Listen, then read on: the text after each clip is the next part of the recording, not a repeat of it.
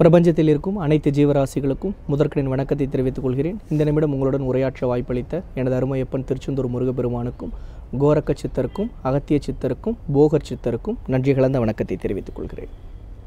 இன்றைய பதிவில் இப்போ இந்த கிளைமேட்டுக்கு இந்த வெதர் கண்டிஷனுக்கு எல்லா பக்கத்துமே ஃபீவர் என்ன காய்ச்சல் ஒரு வாரம் வருது மருத்துவமனைக்கு போகிறோம் மருத்துவமனைக்கு போயிட்டு வந்தால் ஒரு பத்து நாள் நல்லா இருக்குது பழையபடியும் ஃபீவர் வந்துடுது பாடி ரொம்ப அனிமிக்காகிடுது ரொம்ப டயர்டாக இருக்குது ரெஸ்ட்லெஸ்ஸாக இருக்குது இந்த ஃபீவருக்கு ஒரு விடிவு காலமே கிடையாதா? அப்படின்னு எல்லாரும் கேட்குறாங்க நிறைய பேர் சாமிஜி இந்த ஃபீவருக்கு உடனே நிப்பாட்டுறதுக்கு ஒரு மெடிசன் சொல்லுங்கள் சித்தா முறையில் சொல்லுங்கள் இயற்கை முறையில் இந்த வியாதியை குணப்படுத்துறதுக்கு ஒரு வழி சொல்லுங்கன்னு சொல்கிறாங்க எல்லாத்துக்கும் சித்தர்களால் அரிய முறையில் கண்டுபிடிக்கப்பட்ட ஒரு மிகப்பெரிய வரப்பிரசாதத்தை உங்கள்கிட்ட காட்ட போகிறேன் அது என்ன அப்படின்னு பார்த்தீங்க அப்படின்னா பவளமல்லி பவளமல்லி செடி எல்லாரும் கேள்விப்பட்டிருக்கீங்க பவளமல்லி. நிறைய பேர் கேள்விப்பட்டிருக்கீங்க நிறைய பேர் கேள்விப்படாமல் இருப்பீங்க இப்போ நீங்கள் கேள்விப்பட்டிருக்கீங்க. இதுதான் பவளமல்லி. அதாவது வந்து பார்த்தீங்கன்னா பிரம்ம ரகசியம்னு சொல்லுவாங்க. அதாவது இந்த பூ பூக்கிறதே தெரியாதுன்னு சொல்லுவாங்க. அது எப்படின்னு கேட்டிங்க அப்படின்னா மாலை அந்தி பொழுது சரியாக ஏழு மணி எட்டு மணிக்கு மேலே தான் இந்த பூ மலரும். அதே மாதிரி காலையில் பிரம்ம முகூர்த்தத்தில் ஐந்து டு ஆறு அந்த ஆறு மணிக்கு மேலே ஆயிடுச்சுன்னா அந்த பூச்செடியிலேருந்து தன்னால் கீழே விழுந்துடும் அப்போ இது முப்பத்து முக்கோடி தேவர்களின் ஆசி பெற்ற ஒரு செடி. இதனுடைய வாசனை இந்த பூவின் வாசனையை பார்த்தீங்க அப்படின்னா கம கம கம கம கம வீடே ஒரே மணமாக இருக்கும். இந்த ஒரு செடி இருந்தால் அந்த ஏரியாவே ரொம்ப மிக நற் அந்த நறுமணம் சொல்லிக்கிற அளவுக்கு எவ்வளோ வாசனை இருக்குமோ அந்த அளவுக்கு இருக்கும். நான் பல முறை பல பதிவுகளில் சொல்லியிருப்பேன் அதாவது உங்கள் வீட்டில் மகாலட்சுமி வாசம் கொள்ள வேண்டும் என்றால் உங்கள் வீடு தூய்மையாக இருக்க வேண்டும் நல்ல நறுமணத்தோடு வைத்து கொள்ள வேண்டும் சொல்லியிருக்கேன். அப்போ வீட்டுக்கு நீங்கள் ஒரு பவளமல்லி செடி வைக்கும்போது பவளமல்லி செடி வைக்கும் பொழுது கண்டிப்பாக உங்கள் வீட்டிற்கு மகாலட்சுமி வாசம் கொள்வாள். குபேரனுடைய ஆதிக்கம் அதிகமாக இருக்கும். சுக்கிரனுடைய பலன் உங்களுக்கு அதிகமாக இருக்கும். அப்போ தேவர்களால் ஆசீர்வாதம் பெற்ற இந்த செடியை நீங்கள் வீட்டில் வைக்கும் பொழுது எல்லாவித செல்வ செழிப்பும் கிடைக்கும். இப்போ மருத்துவ பலனுக்கு வருவோம். இதுதான் அந்த பூ. இப்போ நம்ம வந்து பார்த்தீங்க அப்படின்னா இன்னும் மலரலை. அதே மாதிரி இதில் ஒரு பெரிய விஷயம் ஒவ்வொரு பூவெல்லாம் நீங்கள் பறிச்சுட்டு வச்சிட்டிங்க அப்படின்னா அந்த பூ வந்து மலர்ந்துடும். மொட்டா நீங்கள் பறித்து வச்சிங்க அப்படின்னா அது மல்லிகைப்பூவாக இருக்கட்டும் முல்லைப்பூவாக இருக்கட்டும் ஜாதி பூவாக இருக்கட்டும் மலர்ந்திடும். ஆனால் இந்த செடியை நீங்கள் மொட்டில் பறித்தால் இந்த பூ மலரவே மலராது. செடியில் மலருமே தவிர நீங்கள் மொட்டாக பறிச்சிட்டிங்கன்னா இந்த செடியில் இருக்கக்கூடிய இந்த பவளமல்லி கண்டிப்பாக மலராது.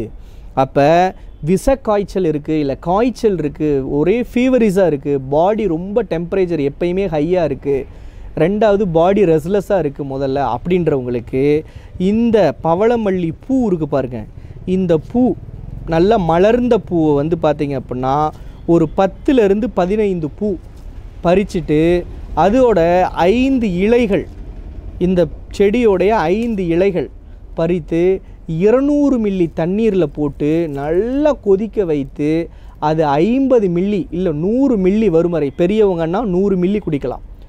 சிறிய குழந்தைகள் ஒரு ஐந்து வயதுக்கு மேலே உள்ள குழந்தைகளாக இருந்தால் ஒரு ஐம்பது மில்லி. அதை வந்து பார்த்திங்கன்னா இருபத்தைந்து மில்லி இருபத்தைந்து மில்லியாக பிரித்து காலை மாலை. சரிங்களா?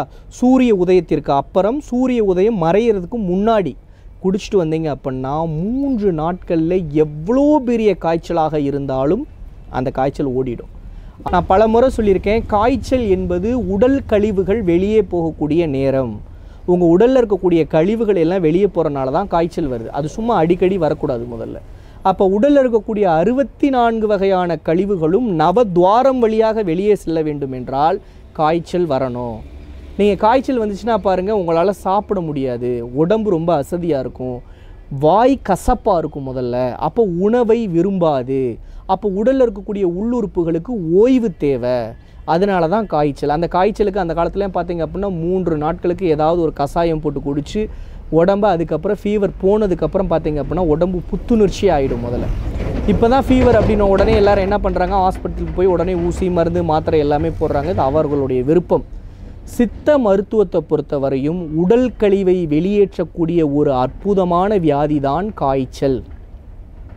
அதனால காய்ச்சல் வரும் பொழுது இது போன்ற இயற்கை சித்தா மூலிகை சம்பந்தப்பட்ட மருந்துகளை நாம் உட்கொள்ளும் பொழுது உடல் புத்துணர்ச்சி பெறும்.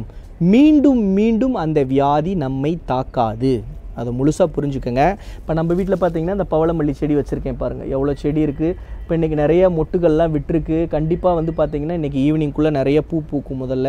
நிறைய பேர் காய்ச்சலில் வரும் பொழுது அவர்கள் எல்லாத்துக்குமே இந்த கஷாயங்கள் தான் நான் கொடுத்துக்கிட்டு இருக்கேன் நான்.